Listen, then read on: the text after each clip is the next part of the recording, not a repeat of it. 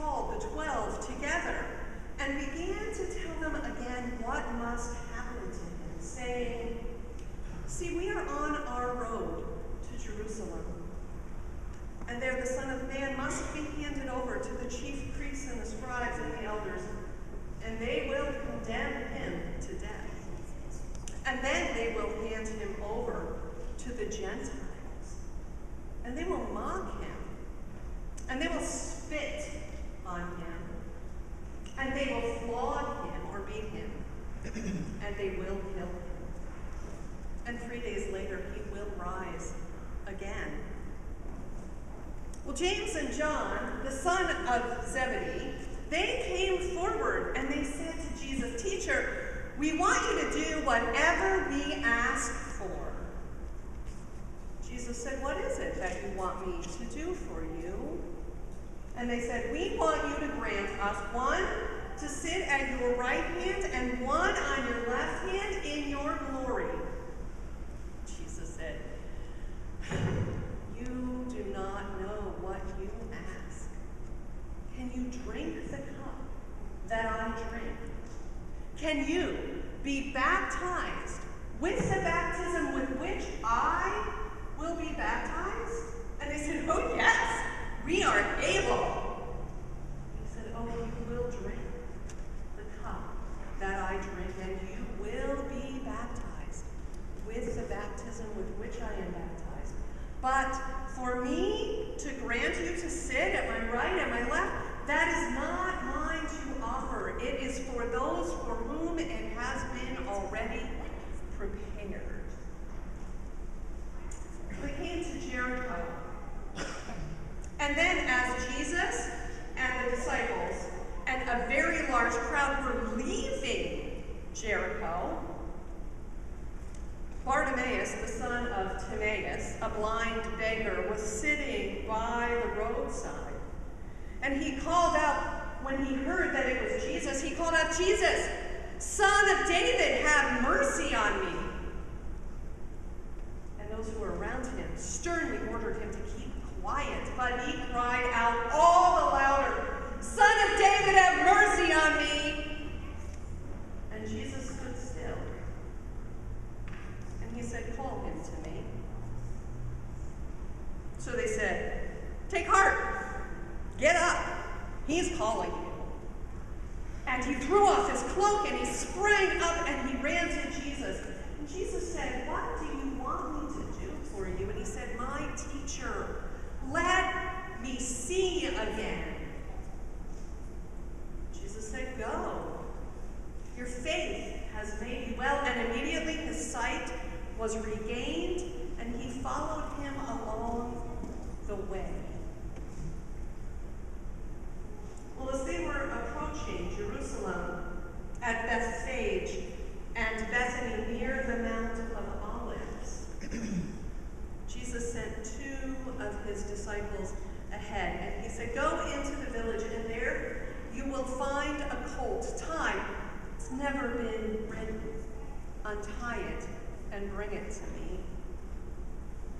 And if anyone should ask you, Why are you untying that colt? say to them, The Lord needs it, and he will return it immediately.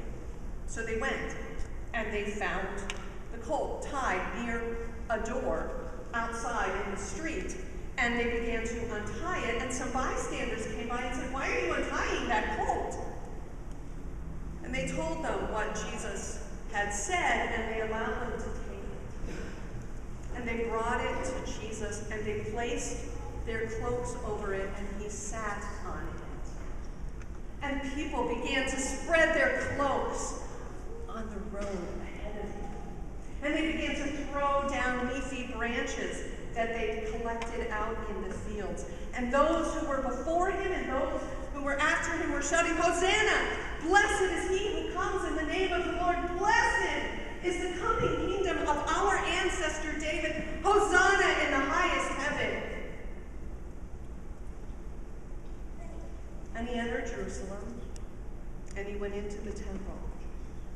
And when he had looked all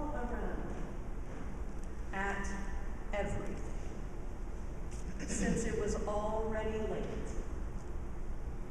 he went to Bethany with the disciples.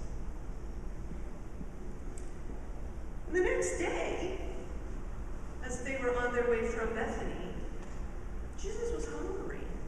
And he saw off in the distance a fig tree in leaf. And he went to see if he could get anything off of it to eat.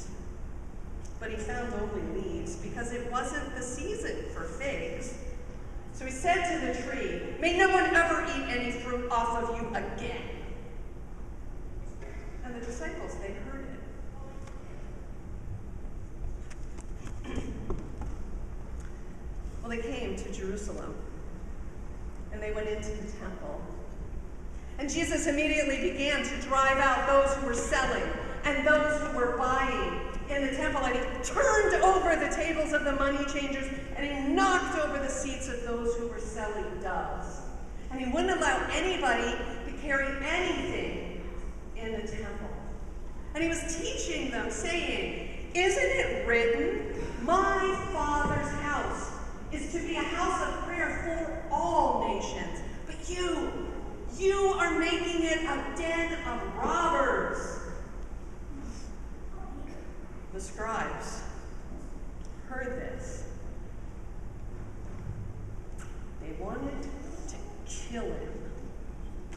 But they couldn't because the crowd was so spellbound by his teaching. And when it was evening, Jesus and his disciples left the city.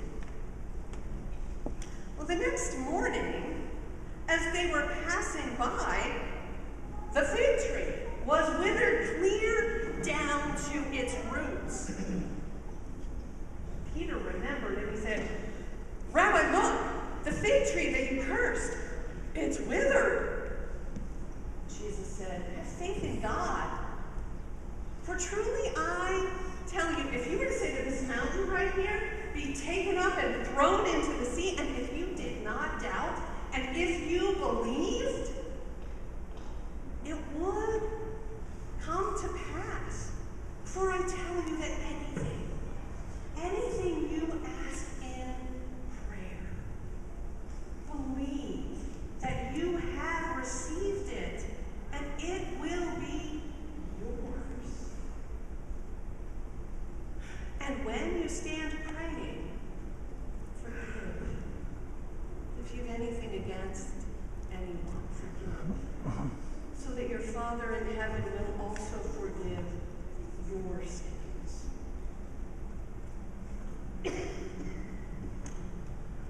they were again in the temple, and the chief priests and the scribes approached Jesus and they said to him, By what authority are you doing these things? Who? Who gave you this authority? Jesus said, I'll ask you a question. And if you answer me, then I will tell you by what authority I do these things. Is the baptism of John from heaven, or is it of human origin? Answer me. Well, they began, they began to argue among themselves. If we say it's from heaven, he's going to ask us, why didn't you believe him? But if we say it's of human origin, boom, we're afraid of the crowds because they know that John was this great prophet. So they said to Jesus, we, we do not know. And he said, then neither will I tell you by what authority I do these things. And he began to speak to them using parables. And he said, Once there was a man, and he planted a vineyard, and he put a fence around his vineyard, and he dug it for his wine press. And he built a watchtower over that vineyard, and then he leased it to tenants, and he went away to another country. Well, the season came, and he sent his servant to collect the produce that was rightly his from his vineyard. But when the tenants saw the servant, they seized him and they beat him, and they sent him away empty handed. So he sent another one. And this one, they beat over the head and they insulted him. So he sent another. But this one, they killed. And so it was with many others. Some they beat, some they killed. But he had one other. And it was his beloved son. And he said, I will send them my son, for they will respect him. But when the tenants saw the son approaching, they said, Look, here comes the heir. Let us kill him, and then the inheritance will be ours. And so they seized him, and they killed him, and they threw him out of the vineyard.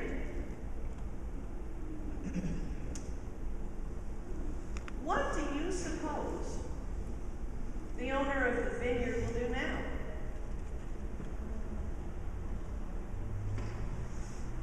Well, I'll tell you, he will destroy those tenants and vineyard to others. For it is the stone that the builders rejected that has become the cornerstone. That is the Lord's doing, and it is good in our sight. Oh, oh the scribes, when they realized he was talking about them, wanted to arrest